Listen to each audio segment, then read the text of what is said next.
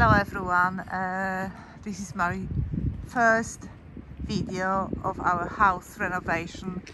Our house is located as you can see on a typical terraced road. And this is the house. As you can see typical terrace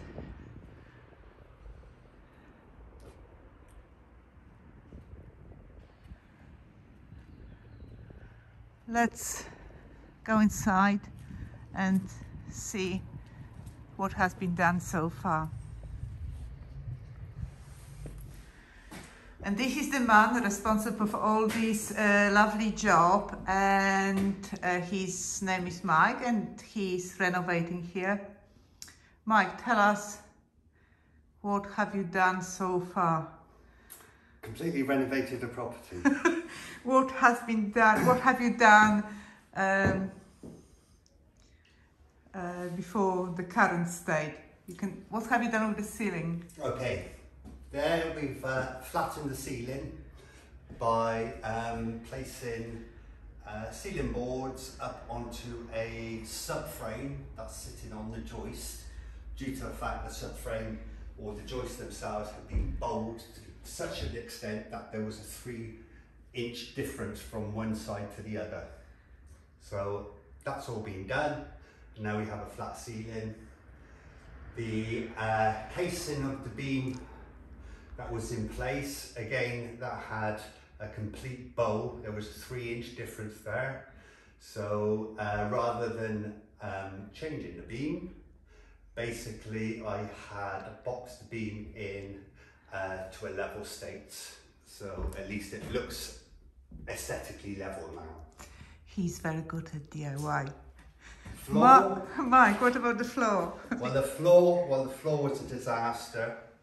Basically it had collapsed completely. The joists, if you can call them joists, were totally rotten. So if you take the film down there, what you can see here is I built up the new columns all the way around, stuck in the cross members and put in a new uh, So subframe. So all the foundations are brand new, yes? Yeah, well, it's not so much foundation, they're just columns holding up the um, main beams. There was a lot of gravel to be removed and Yeah. my back hurts.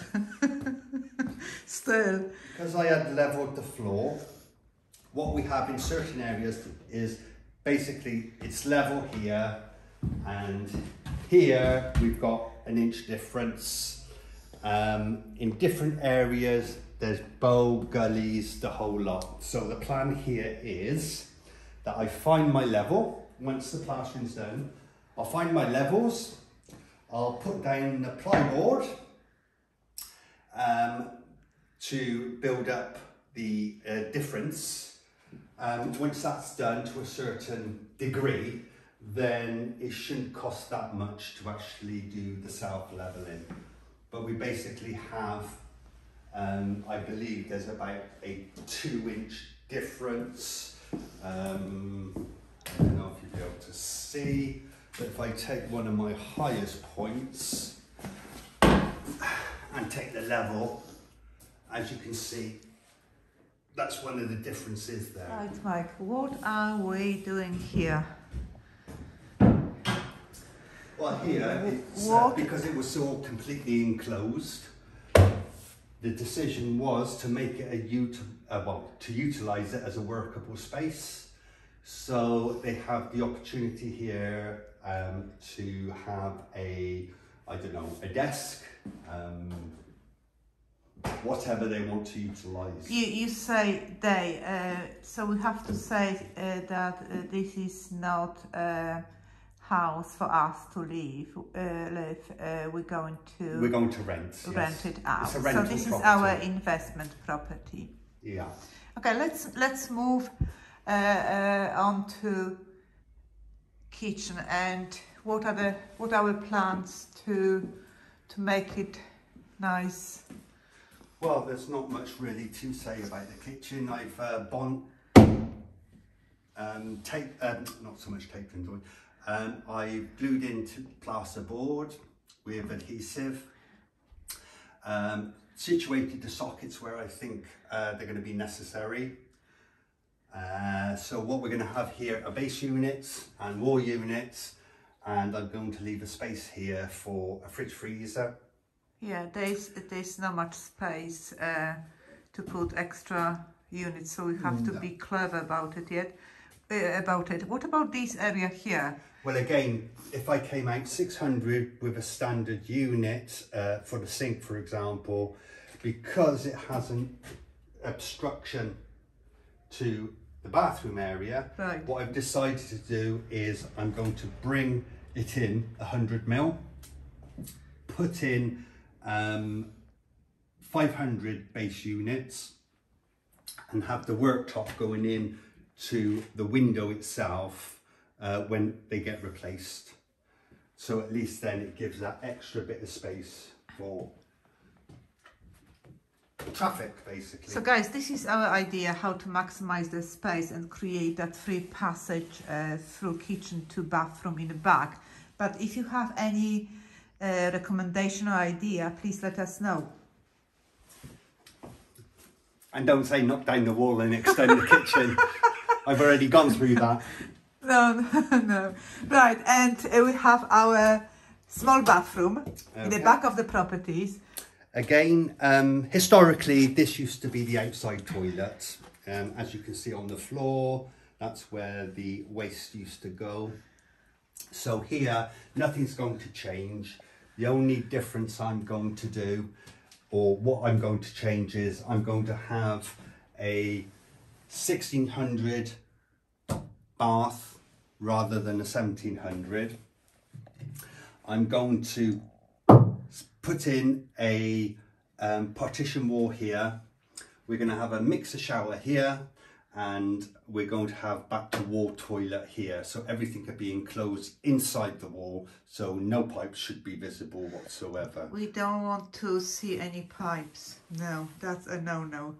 What about what about the ceiling? Okay, so as you can see, whoever did the actual extension bit decided halfway through the bathroom um, extension, decided not to fill in the second skin of brick up to the uh, ceiling heights or up to the joists.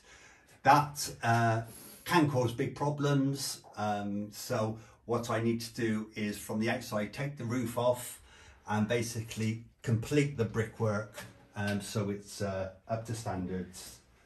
Right. What about these pipes in this small corridor? Well, these pipes will all be gone. So these will be gone. All these will be gone. And as you can see, I've built in the channels ready for the new piping to go under the floor. God, he is so good. He's so good. He's not a builder by trade, but he loves his DIY. Guys, I will, I'm going to take you now to upstairs and see what has been done over there.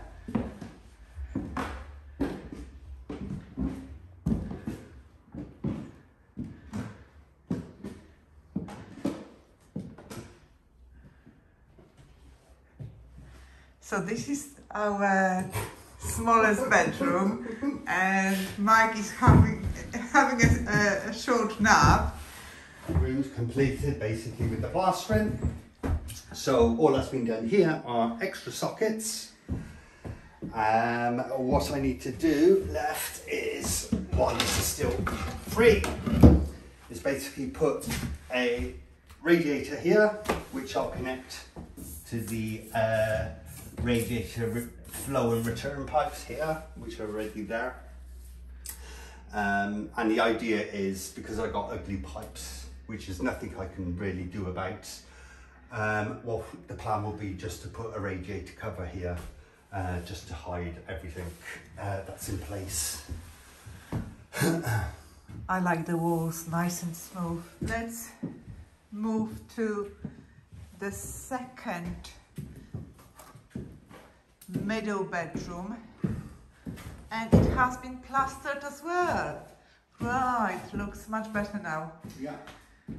So it's just got a bit of more drying to do in this corner here, um, but now it's all gone pink. So uh, yeah, should take another day by the time that dries off and uh, ready for the uh, sealer, mist coat. Mike, what walls. have you done in this room? What was the state of this room before? Um, the state of this room, this ceiling was a disaster. Um, the whole ceiling came down um, and basically again like I did downstairs I put in a subframe um, attached to the existing joists and uh, put in a level ceiling. So uh, at least now um, it's flat, straight. Okay, from the middle room, we're going back to our small passage. And we moving into our main bedroom. Gosh, looks much better with plastering on. Again, the same story as with the middle bedroom. Yeah. Basically, the reason that happened is that we have one and a half inch joists running along the span of the roof, which was held up by um, brick wall, which obviously went down originally to the ground floor. The person decided to open up downstairs, which is fine, um, but he didn't really take into account um, the stress that was put on that beam, hence why we had the bowing. Um, so what I had to do upstairs here to get the property up to a safe standard, which is what I like to use because it was totally dangerous, is I removed all the bricks from this um, wall here, which relieved the pressure on the beam underneath, um, and left the beam up on the roof as is, but I've removed the ability to utilize it as a room. And I'll show you, if the camera can catch it, I can actually show you the type of bow that happened. Um, so I've removed all floorboards upstairs and it's just going to be used as a loft space. Um, how the beams were not, um, how can I say, the beams were not strengthened would be a good word um, for a room to be up there. It was only a case of sticking another, uh, you know, I know, four and a half inch beams across uh, the span of the rooms, but that was not done. Right, so so Oh, the there, there were stairs Yeah, here there were stairs upstairs. here going up into the loft space there. So you removed that. Yeah. If you come over here, and let's see if the camera can actually capture it.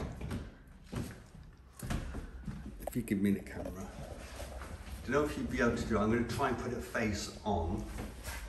But as you can see, that's the beam up there. That's running against a straight ceiling. And that's what I had to contend with.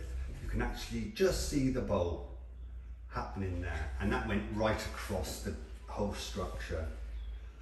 So, yeah, so just to make the property safe, um, I basically uh, boxed in and made it into a loft space rather than a usable, usable room. But in the future, if we decide to open it up again and make it into the room, then at least the job will be done properly.